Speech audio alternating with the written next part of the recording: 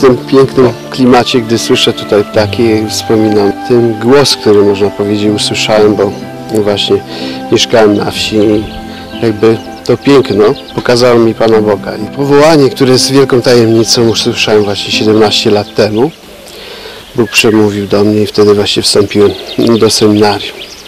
I dzisiaj właśnie wsłuchuję się w ten piękny śpiew ptaków, to ta przyroda, która tak emanuje, to właśnie można powiedzieć, że y, wtedy usłyszałem głos Pana Boga, który mnie wzywał do swojej służby.